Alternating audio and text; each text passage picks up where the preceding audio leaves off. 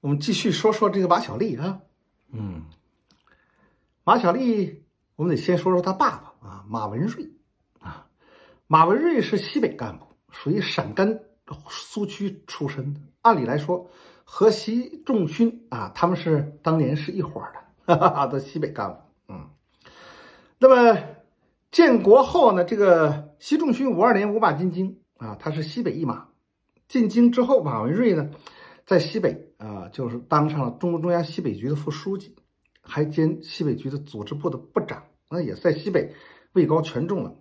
五四年就是呃，整个国家体制改革嘛，啊，然后人大常委会成有了人大常委会，然后有了国务院，国务院有了之后设若干个部，其中有劳动部，中华人民共和国劳动部，劳动部的首任的部长就是这个马文瑞。啊，就进京了。他是马文瑞，是中共八大的候补中央委员。嗯，那么马文瑞什么时候开始这个这个，或者是马文瑞的这个仕途后来如何呢？啊，他后来的仕途跟习仲勋一样。啊，八六二一九六二年八届十中全会上，习仲勋呢，因为刘志丹小说刘刘志丹那个案所谓的案子，不是被打倒了。马文瑞跟他一起，被打到一波里头去了啊！我们昨天还在提，还在提刘兰涛嘛啊！昨天我我们说国史的时候，前天我们说国史说到了刘兰涛，中共中央西北局第一书记刘兰涛做西北局第一书记有个非常重要的任务，就刘少奇交代给他的，就是要他在西北地区肃清高岗这个西北干部的这个余党余孽，彻底铲除西北干部在东山再起的土壤。啊刘兰涛，刘兰涛当时是这个习仲勋这个专案的副主任嘛，主任是康生，但这个副主任事实上是管事儿的啊，具体负责的是这个是这个刘兰涛。那么当时六二年这个这个刘刘志丹刘志丹这个小说案呢，当时被打倒的就是习仲勋，包括马文瑞啊，包括马文瑞，呃，还有贾拓夫，是不是？刚开始打打成的是一个叫呃习贾，嗯嗯，习贾刘反党集团，那叫习贾刘，就是习仲勋、贾拓夫和刘景藩，刘景范啊，刘景范就是刘志丹的弟弟啊，刘景范的女儿是北京的一大萨妹啊，哈哈，北京的一大萨妹，代表五零后的那个。音乐家啊，刘索拉啊，刘索拉，呃，习仲勋、贾拓夫啊，这个刘景范是一开始是这个反党集团，后来贾拓夫死了，贾拓夫死了之后，又把这个马文瑞给补进去了，变成了习仲勋、马文瑞、刘景范反党集团了。嗯，这个。习仲勋、贾拓夫、刘景范反党集团的时候呢，这个马文瑞仅仅是这个集团的成员。呃，这个贾拓夫死了之后，这个马文瑞就升升升级了，升成了主犯之一了，成跟习仲勋和刘景范就并列了。嗯，那么后来这个马文瑞呢，这个黄立堂政变之后，七七年恢复工作啊，国家纪委副主任。七八年的时候。呃，就到了这个回了陕西，出任陕西省委第一书记。嗯，后来呢，回到北京，然后退休，全国政协副主席。啊，这个九零年的时候，就是这个马文瑞啊和彭真等人倡议并成立了中国延安精神研究会，并且呢是延安精神研究会的首任的会长啊，这个马文瑞。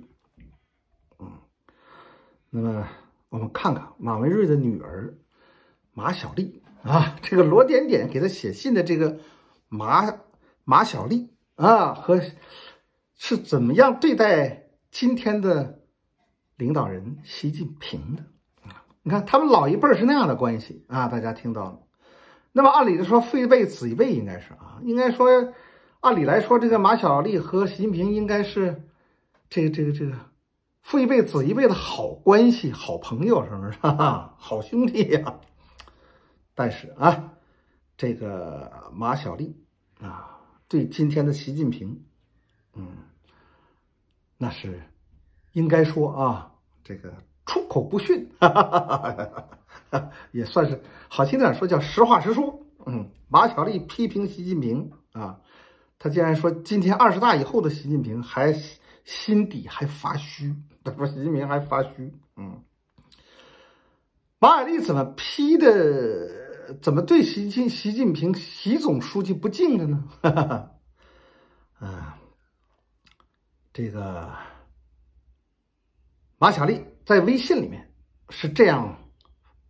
说的，他说连任之后不首先研究经济工作，却跑去延安红旗渠看那些假景点、假文物，寻求其执政合法性之源。这说明他心底里还是发虚，需要从假景点、假文物中获取道统的证明和灵魂的庇护。